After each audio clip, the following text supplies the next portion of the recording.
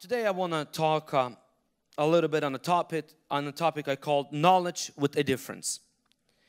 And I want you to go with me to Ezekiel chapter 37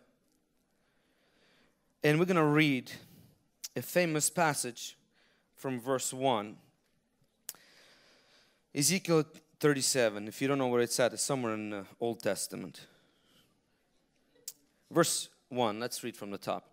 The hand of the Lord came upon me and brought me out in the spirit of the Lord and set me down in the midst of the valley, and it was full of bones. Then he caused me to pass by them all around, and behold, there were many in the open valley, and indeed they were very dry. And he said to me, Son of man, can these bones live? So I answered, O Lord God, you know. Again he said to me, Prophesy to these bones and say unto them, O dry bones, hear the word of the Lord. Thus says the Lord God to these bones, Surely I will cause breath to enter you, and you shall live. I will put sinews on you and bring flesh upon you, cover you with skin, and put breath in you, and you shall live. Then you shall know that I am the Lord. Verse 7 says this So I prophesied as I was commanded. Today I want to talk to you about knowledge with a difference. God comes to Ezekiel and he takes him in a spirit and brings him into the valley of dry bones and begins to have a conversation with the prophet of God, begins to have a conversation with Ezekiel. And he asks Ezekiel, What do you see? Can these bones live again? And they begin to conversate together and discuss. And I want for us to take few lessons from this passage, from this story, to take few principles and to apply it into our life. Today, this message is to those that maybe in your situation, your situation is has gone beyond the point of return. Maybe your dream has, you know, there is dry, but there is very dry seasons that you're going through. That maybe your marriage, you know, it was bad, but now you're looking at it and you say, you know, I don't think there's ever any comeback from it. Maybe you're looking, you know, you had a plan in your life, you know, to get married by 25, by 30, having a few kids, having successful marriage, but now you're 35 and you think, Lord Jesus, I'm very, very dry. My time has gone by. Or maybe you know that business that you've been working on you know it's just been stagnant. And whatever effort you apply whatever things that you're you, whatever energy you put into it investment money is just not going going forward. Today this message is for you. God talks to ezekiel and says ezekiel can these bones live He's asking Ezekiel, Ezekiel, what do you think? Ezekiel, what do you know? Can this situation live? Today, God is asking you, He's asking me regarding your situation, regarding your family, regarding your career, your business, regarding the thing that you're going through. He's asking you, what do you think? Can it work? Can you progress? Can it move forward? Can it be revived? Can you succeed? See, knowing, knowledge is power. And the kind of knowledge that you have will determine the quality of your life. The kind of knowledge that, uh, that you obtain in your life will depend the kind of quality you have. God is coming to Ezekiel and he's asking, Ezekiel, what do you see? He says, I see a dry bones. He stayed in him a fact. The fact is, the situation is very bad. The fact is, the situation is beyond the point of return. The fact is, the, the business is not going forward. The fact is, the kids are straying on drugs, rebellious, and the kids are you know gone haywire kids left home the fact is husband is not treating me right. Wife is not treating me right. The fact is, things are not moving forward. But God wasn't asking Ezekiel for facts. He was asking him, what does he know? What truth did he embrace? What did he what did he accept as truth for himself? What kind of knowledge does he have concerning the situation he's in? See, your knowledge produces the pattern of thinking that you have. How you can know what kind of knowledge you have is the kind of thoughts that you think when you think of that situation. That's the kind of knowledge that you have. Whether it's positive, whether it's negative. Examine yourself and you have to understand and know what you're carrying on inside of you to know how to proceed forward. The kind of knowledge, the kind of truth that you have. Because if knowledge determines your patterns of thinking, the truth that's, that's engraved in your subconscious, in your inner spirit, if it determines the kind of thoughts you think, because thoughts determine your actions, your actions determine your behavior, behavior determines your habits, and habits form your destiny. So it's very important to understand and, and, and comprehend the kind of knowledge and truth that you embraced about your particular situation or your life. See, knowledge is acquired by our five senses by seeing, hearing, touch, and smell. The biggest source of, of, our, of, uh, of information that, that, collect, that our knowledge collects is from seeing and hearing. That's why you have to be extremely careful of what information do you let in? What do you read? What you watch? What you hear? What you allow, what you feed yourself with? Because that information will be a base for the knowledge that you will carry, the truth that you will embrace. I'll, just to give you an example, there were, um, there were two men in England and both of them in the same hospital in the, city, in the same city they were diagno diagnosed with a disease uh, that rendered them unable to walk. They both of them received same kind of information and both and but one decided to base his knowledge his truth on the fact on the information that he received from the doctor and remained in a wheelchair the other one decided and he said you know what Yes, it might be the fact that this sickness is in my body and I can't walk, but I'm choosing to embrace different information and base my knowledge, my truth on different fact. This man, with many tries, slowly began to walk. After some time, he began to run. This, name, this man, his name is Roger Bannister.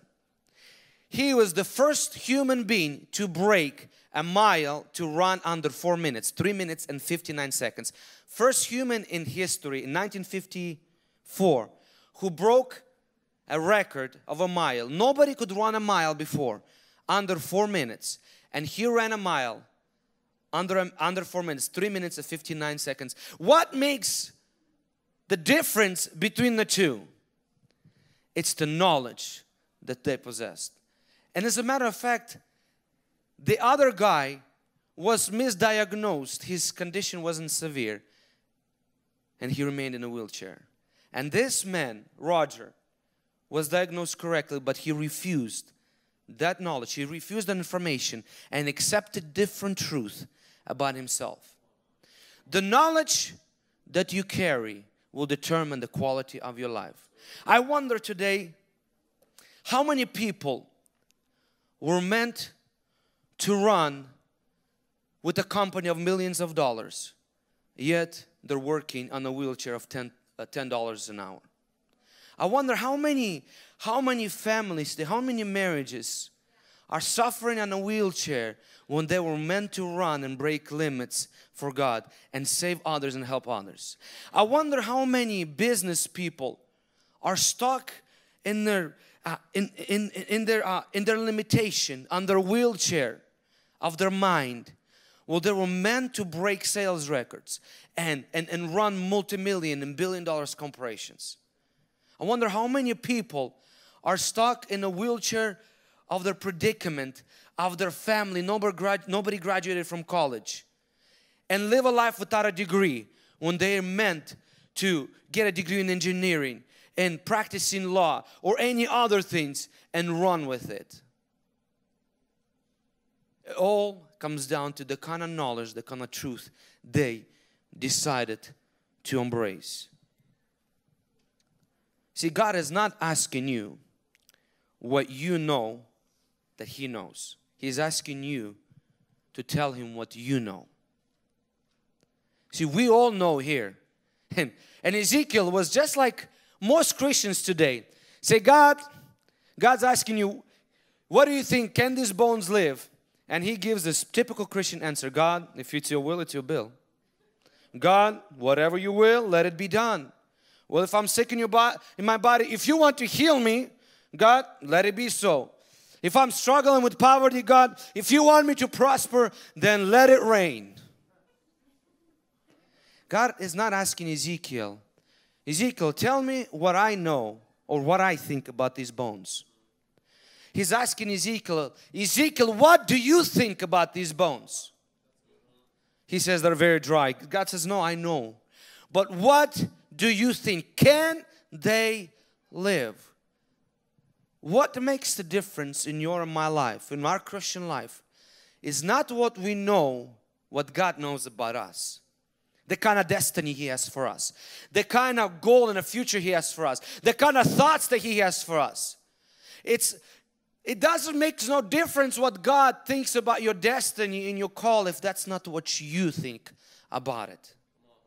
If you, if that's not what you're gonna embrace and make the truth for yourself, that knowledge would be your kind of knowledge. So many Christians quote the scripture turn around and stomp to the ground three times and shout and say amen, yet go back home still defeated, still broke, still busted and disgusted, still sick in their body. While God thinks one thing about them, but they think differently about themselves. I wonder how your life would change if you embrace what God knows about your situation. I wonder how my life would change if I truly embrace the knowledge of God that He has for my dry bones. God is asking you what you think about it. It's not what God knows that matters, it's what you know. You have to understand God will never work in your life above the level of your thinking. If your thinking and your dream and your goal is one day that you make $20 an hour, God will not go above that. He'll get you to that place. If you think that uh, God can get you to the place where you can make a $100,000 a year, God will get you there if you truly believe.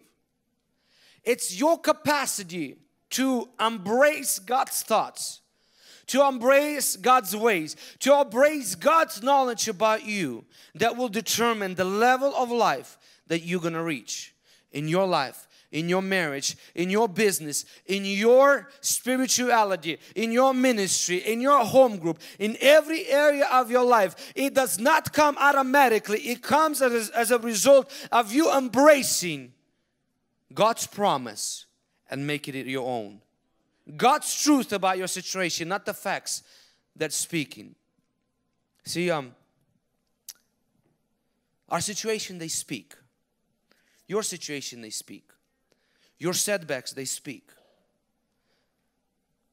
Bad relationship in marriage they speak. And over time, it's easy to accept what they say. Constant setback and failure, constant limitation your background, your upbringing, it speaks to you. It tells you, but it's up to you to embrace what God says or what the world say or what your past say. You choose the source of information which will be the base for your knowledge and that knowledge will determine where your life will end up. Uh, there's another story of a man. As I was searching for this story, I, there's actually many of them. It's, it's so crazy. Uh, there was this man uh, for of Portuguese, uh, Rufino Borrego. At the age of 13, he was diagnosed with some muscle disease that again rendered him unable to walk. At the age of 13, he was put on a wheelchair. At 2010, 43 years later, he, he gets a new doctor. The other doctor, whether died or stopped treating him or whatever the reason was, he gets a new neurologist. And neurologist decides to send him for scans and tests just to see if there's anything that he can do to improve his life. Gets to find out that this man 43 years ago was misdiagnosed. And that this man that's already past his 50s has a minor problem with his muscles that they can be treated with therapy and small guidance. And at the age almost at 60, this man begins to learn how to walk again and begins to walk in his life. Because he embraced the wrong information and made it his truth and knowledge. For 43 years of his life, this man sat on a wheelchair and was limited. Today I wonder what are the things I'm embracing? What are the things uh, you're embracing because you grew up in it? Because that's what you were told that you will never amount to anything, you'll never do, you'll never succeed in it. What do you think? You're the only smart one in our family that you're gonna start a business, gonna start making making millions. Stop this nonsense. Go get a degree, go get a job, and go do this or that, or whatever other nonsense that people spoke to you. And you chose the life of a wheelchair when you are meant to run with God without limits.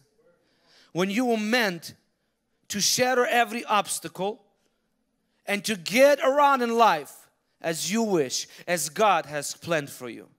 So many people today are rolling in the wheelchairs in their family.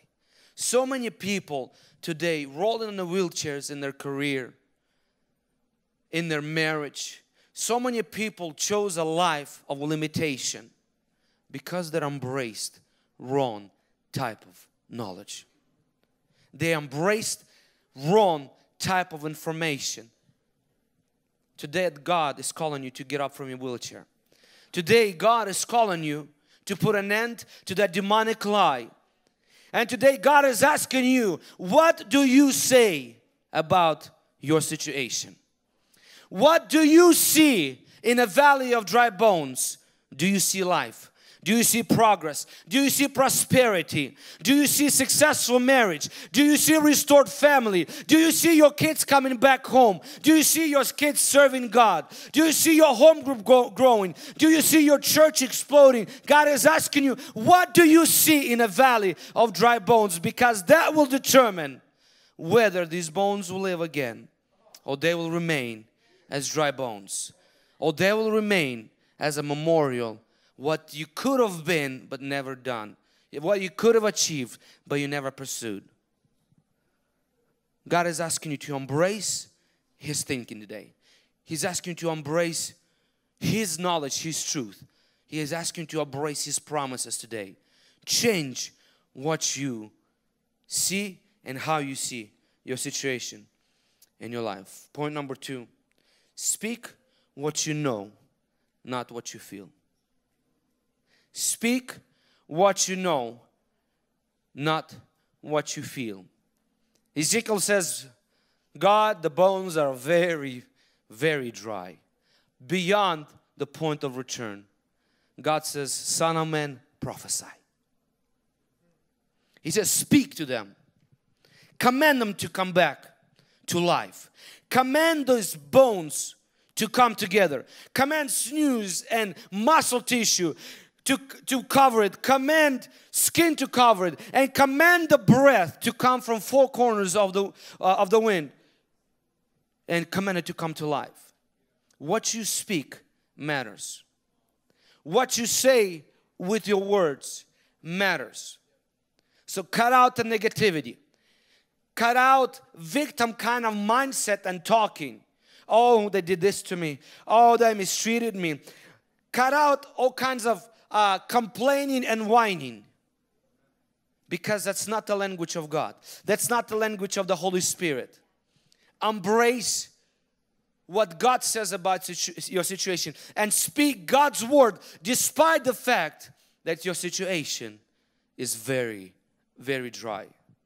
Begin to speak into your kids. Begin to speak into your marriage. Begin to speak what you want to see, not what you see now. Begin to speak a strong army that will rise up and will conquer. Begin to speak strength. Begin to speak victory into your situation. Your words have power. You know, um, there's this misconception that when we talk about creation, people say God created this world from nothing. But I beg to differ. God did not create this world from nothing. See, God says, God, He says about Himself, He is light. If you know anything about light, light is an energy.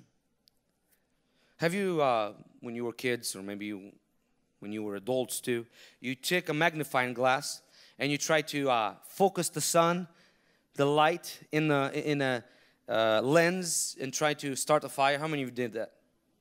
The rest of you missed out on childhood. Okay. Light is an energy, is a very strong energy. That's why you see solar panels, you know, they collect the light and, and, and, and break it into an energy. That's why you see, if you look at laser, now they have laser weapons uh, that, uh, you know, shoot down planes and destroy things. Uh, I mean, uh, laser is a, is, a, is a form of light. We see um, x-ray machines. Uh, we see, uh, what are those things called? Um, radiations and gamma rays and all these things that they fight and kill cancer. Um, and light is an energy and God is light. Second element in creation that we see, so light, so light is an energy. Second uh, element that we see in creation, Bible says that God said, let there be light. He said, let there be this and that. God spoke. Sound is a form of energy. So combined those of you that if you don't believe me put our headphones on and play it really really loud see what happens to your ears. Just joking don't do that but you get the point. Sound is an energy. There's even a uh, I, I don't remember some a long time ago I read that in some countries the way they test skyscrapers for their stability is they bring this huge huge speaker and they play it really loud that that sends those uh, sound waves and a building pretty much they replicate like 5.0 or 6.0 earthquake to see if the building withstands. That's the kind of power that sound has. So coming back to creation, God created the world with light and with sound, with power of His words. Where I'm going with this, Bible says that you are the light of the world. You carry the light, that energy, that creative energy. Combined with your words when you speak, with the sound of your words, you begin to create the very things that you speak in your life. You begin to do the things that God did when He created His world, when He created this world. God has given you an ability to create. Don't speak negative. Don't speak bad words over your children, over your spouse, over your business. Never say, oh man, I'm just stupid. Oh, I, I knew it'd never work out. Get rid of such a words from your vocabulary. Speak the words of God. Speak life. Your words have power. What you speak will come to pass.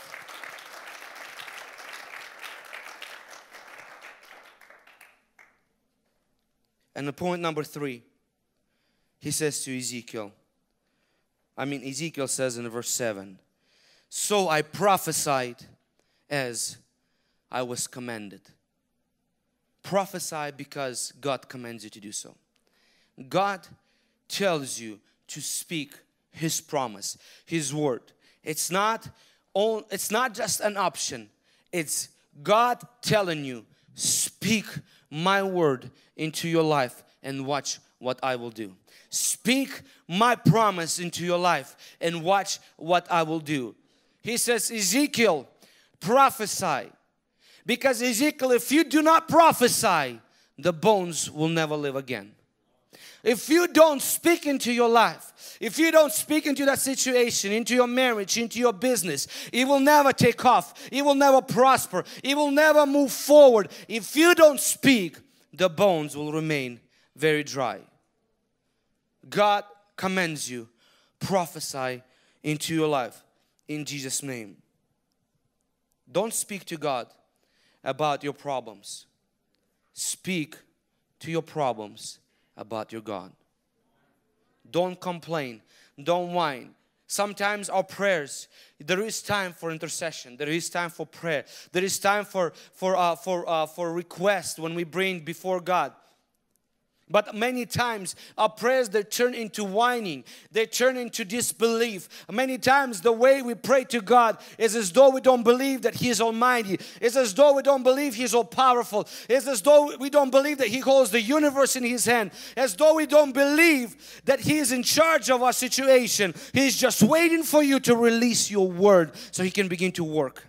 He's just waiting for you so you can begin to prophesy. Prophecy simply meaning talking about the future. So you can begin to talk about your future as though it is now. That you begin to declare the things into the atmosphere, into your situation, your marriage, your business, your finances. That you begin to unleash God's power into your life. God is waiting on you to change your life. He's not waiting He's not waiting for a perfect timing. He's not waiting on himself. You're not waiting on God. God is waiting on you to embrace His principles, to embrace what He's calling you to do today. Begin to speak into your life. Begin to speak into your family. Begin to declare. In Numbers 14 28 says, As surely as I live, declares the Lord, I will do the very thing I heard you say. He says, I will do the very thing that I heard you say. What is God constantly hearing you say? What is God constantly hearing you say about the valley of dry bones in your life? Is He hearing complaints? Is He hearing how unfortunate I am? Just how I was born in a wrong family? How was I was born on the wrong side of the tracks, how people mistreated me, how people uh, took advantage of me, or is God here in faith? Or God, or is God hearing, you know, if God got me to this place, if God kept me alive when many people died, if God got me this far, I believe He can take me further. I believe He's gonna take me to the next place. One person faces a challenge in his life and he says, God brought me to bury me in this place. The other per person say, faces the same situation and he says, God brought me here to elevate me, to take me to the new place. That people that solve problems, people that face challenges and overcome, become the successful ones, become the prosperous ones, becomes the one that enjoy the fruit of the life, of the words and of their thinking and of the knowledge that they carry on inside of them. Today God is saying, what do you know about your situation? What do you declare? What do you speak about the very thing you find yourself stuck in? It's easy to say negative words. It's easy to declare um, how you're unfortunate. But when you take a high road, when you begin to partner with God, and begin to create in your life. When you allow the Holy Spirit to be unleashed through the power of your thinking and through the power of your words, Holy Spirit has freedom to create the very life you desire. I challenge you today, embrace the mind of God, the knowledge of Christ. Embrace what He has for you, the promises of God and begin to speak into your life. Begin to speak it in your life. Begin to prophesy, Son of man, can these bones live? Yes, Lord, they will live in Jesus' name. If you received something, put your hands together for Jesus Christ.